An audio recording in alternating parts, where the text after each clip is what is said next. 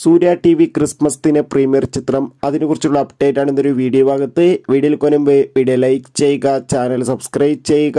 വരുന്ന ഡിസംബർ മാസം ഇനി ഒ ടി ടി റിലീസ് ചെയ്യാൻ പോകുന്ന ഡേറ്റ് കൺഫേം ആയ ചിത്രങ്ങളുടെ വീഡിയോ നമ്മുടെ ചാനൽ പരിശോധിച്ചാൽ നിങ്ങൾക്ക് കാണാൻ വേണ്ടി സാധിക്കും.